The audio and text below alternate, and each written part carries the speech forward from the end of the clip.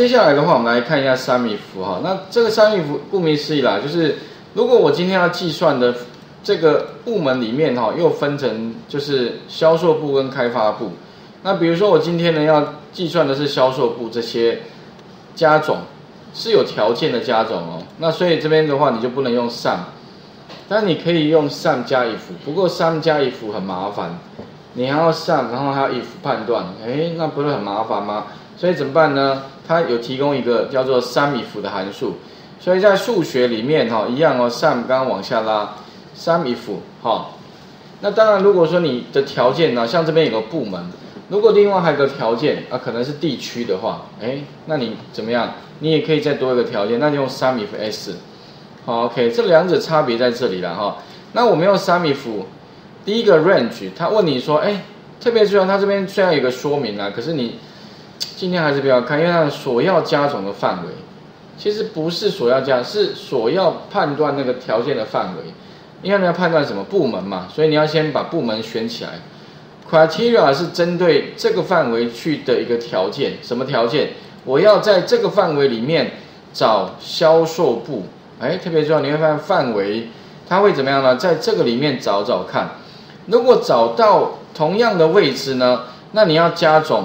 的范围在哪里？哎，就是奖金，所以他会这边比对，如果比到的，所以上面是 if 啦，下面是上，if 这个条件发生了，就把一千八先加起来，对不对哈？然后呢，再来比，哎，一千五，哎，又把它加起来，所以特别注意哈，这个可能要注意一下那个参数的位置，你不要搞错了。之前同学比较容易做错是颠倒了，哦，哎，加总跟那这样结果一定不正确。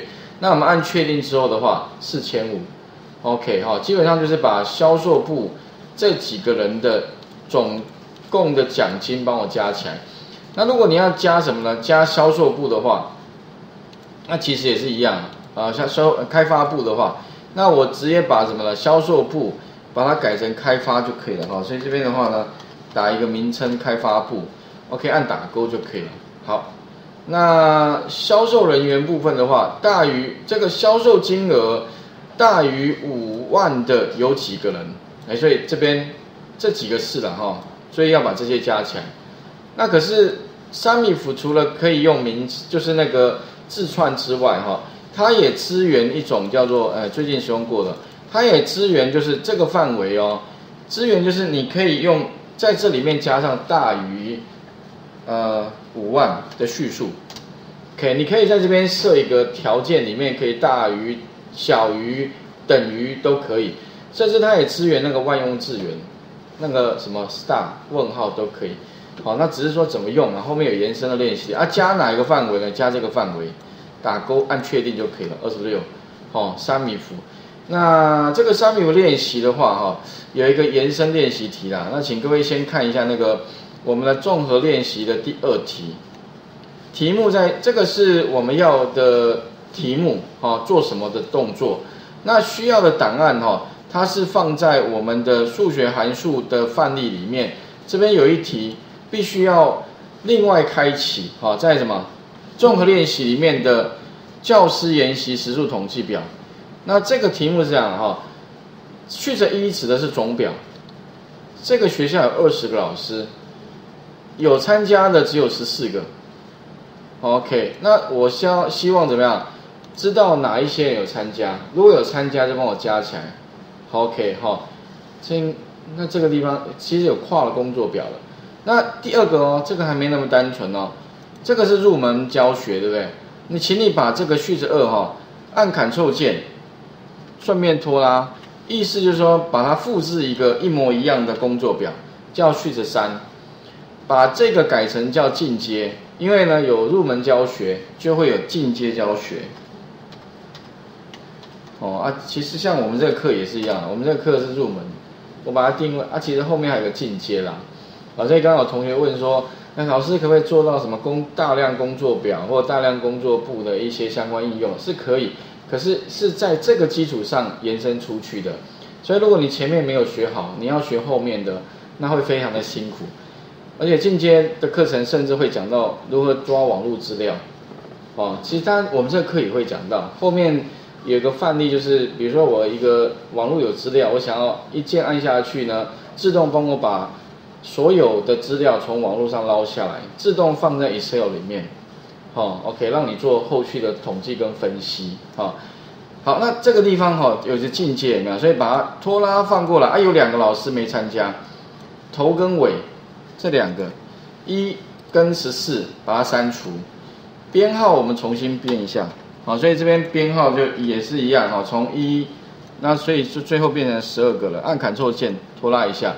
那时数的话呢，变成每这个时数哈，呃，变成是进阶班的话是两个小时，所以这边的话呢，只也全部就加 OK，所以变成有一个进阶，有一个入门两个。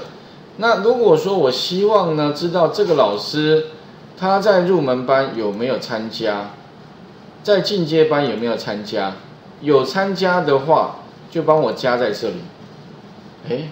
那这个地方哦，当然不是让你土法炼钢。哎，王庆禄有没有？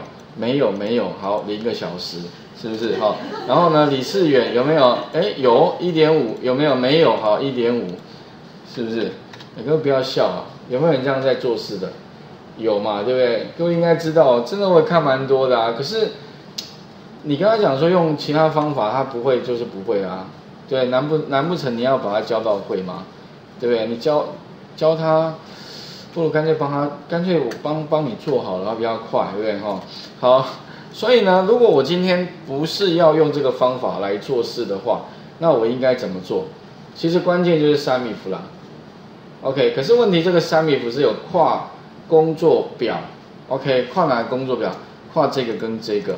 那条件的话，当然了，你会发现插入函数哦，三米符哈，它会有一二三，哎，所以你有点这个就是考你的嘛。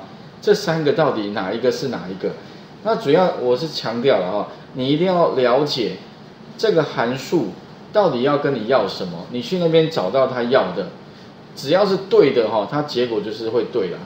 但是最最怕就是说呢，你不了解这一个函数，它到底跟你要什么，有点像鸡同鸭讲。所以哈，每一个前面哦，这些东西都是线索哦。不过因为 Excel 没办法，前面的提示哈。他就一律给你英文的，对他没有给你中文的，对，给你中文的多好。不过不可能啦，以以色列我想他不可能因为为了你这个这个地区把前面的说明改成中文的，但没办法改没关系。但是你可以以后像用久了之后，你会发现它有一个共通性，看大概就知道要给什么。所以每个函数都有一个共通点，你只要把那个共通点抓出来，即便完全没使用过的函数。也可以马上可以掌握到底要怎么去使用这个函数哦。OK，所以请各位试一下哈。我第一个呢，请各位开启那个教师研习时统计表这个，然后呢把那个入门呢按 Ctrl 键拖拉变成序子三，这边改进阶，删掉头跟尾，好，重新编号一下。那我们要的是在这边自动帮我做出我要的结果，来，请各位试一下哈。那再来的话哈，还有另外我尽量就讲各位需要知道的，可能你我觉得这个不是你们需要特别知道的话，我也许我都跳过了，因为那可能对各位来说暂时不知道也没关系，不然说真的你要学的东西还太多了，一堆嘛，你看啊，光里面函数就两百多个了，两百五六十个吧哈，那 VBA 也是一堆啦，这么多你总不可能全部都把它从头到尾学，怎么学得完？人人的生命真的有限呐。你应该把时间哈留在学习最重要的部分就好了，而且好像不是除了学这些之外，还有别的事情要做嘛，对不对？所以尽量还是要学习的效率也很重要。还有真的哦，哎，千万不要贪多了，真的要一个方法就好了，不然你学了半天之后发现，哎，到底我应该选哪一个才对？其实都对了，你就选那个就好了嘛，你会把它事情解决掉。老板也不会管你会几种，老板只会管你把它做出来，而且做得很好，这样就 OK 了哈。好，那再来的话，我们来看一下研习时数插入函数，一定是三米伏。可是三个问题，他第问第一个问题说，哎，你的 range 意思就是说哈，我刚刚我特别强调哦，你要找什么？我要找这个人吗？所以这个人就是王庆，就是 criteria，criteria 就是你要找的条件。那上面这个一跟二是相对的，意思是说，嗯，range 意思是说你要去哪边找？哎，那我要找入门班嘛，所以意思就是说哈，你要到入门班里面的那些老师里面找，而且是一个 range，所以特别就 range 这个 criteria 先给好了，王庆禄，这没有问题，毋庸置疑就是他。第二个问题是去哪边找？相对于王庆禄那个清单，入门班的这个范围里面帮我找找看，哦，然后呢，你就把它选取之后的话，哈，哎，OK，好，但是它会自动出现什么？序着二惊叹号，意思是说你这是跨工作表哦，OK 哈，好，那记得啊，如果你要让它回去哈，有没有？它现在停在这里怎么办？教过一个一招，请你点中间。一下，它又回来了。OK，我怕有些乱点，点完之后哦，乱又一堆东西哈。然后呢，里面找找看有没有，如果有的话呢，再帮我上。啊，上面应该装哪里呢？也是序字二里面的时数嘛，有没有？OK，啊，再移到中间切回来，这样就搞定了。那因为等一下会向下填满，所以呢，记得把什么呢？B 三到 B 十六。按 F 四两下，按 C 三到 C 十六两下，两下就是其实锁列就好了。那你锁一下，按一下也可以啦。不过我是觉得不精确啦。你锁栏干嘛？没事，没事，不要乱锁。锁了之后反而有事哈。OK，所以栏列哪个要锁，哪个不锁，其实慢慢要培养那个概念。我发现很多人都全部锁，可是问题如果说你有的地方。只能锁列，不能锁栏。有的地方只能锁栏，不能锁列的话，那你那个效果你就做不出来了。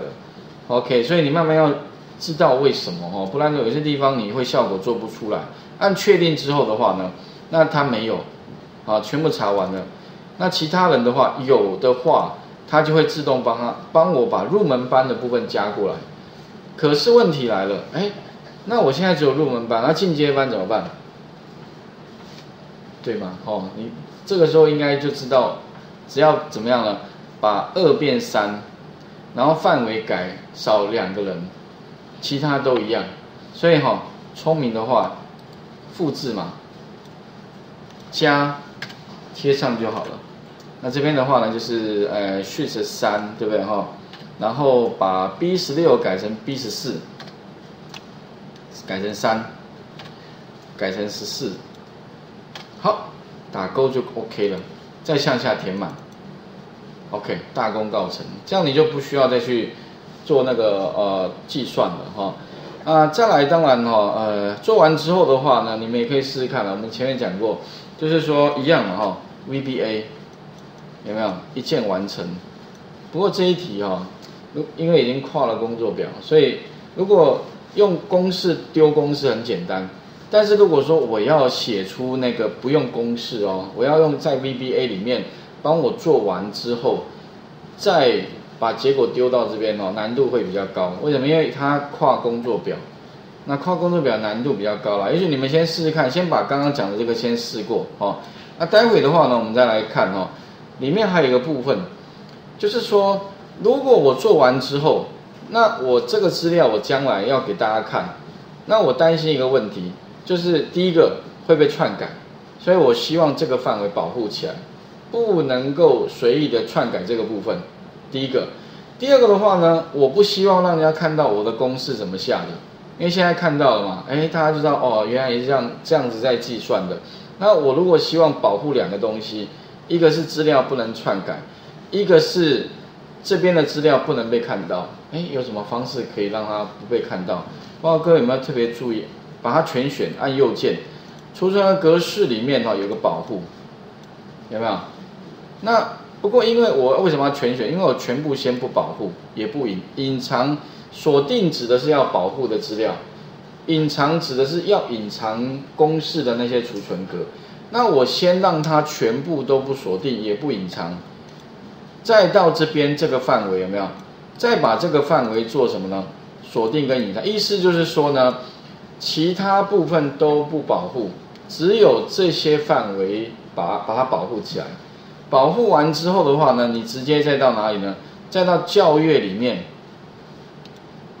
保护工作表。那建议一定要加密码，因为如果你不加密码哈，只要有新人按下去就取消了。OK，那等于有保护跟没保护是一样的哈。所以你记得加一个密码，哦，哎，好，输入。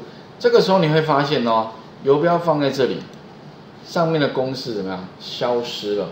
那当然哈，要假设有有人要篡改对不对哈？哎，他按下去，哎，保护中，不允许变更。OK，所以那可能有新人就。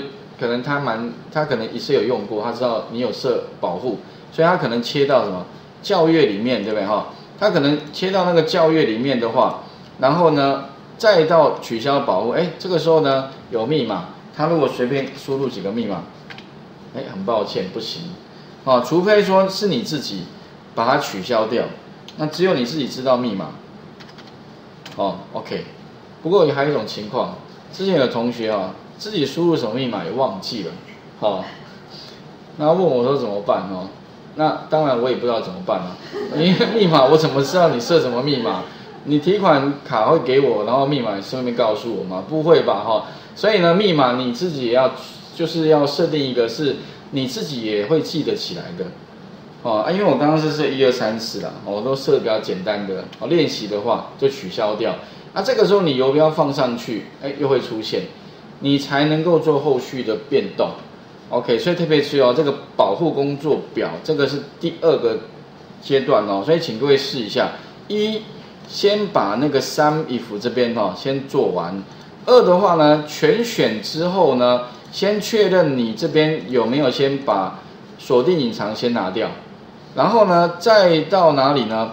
再到这个范围去做锁这个按右键储存格式里面的锁定跟隐藏。哦，这样就保护了。OK，那请各位试一下，画面先还给各位哈。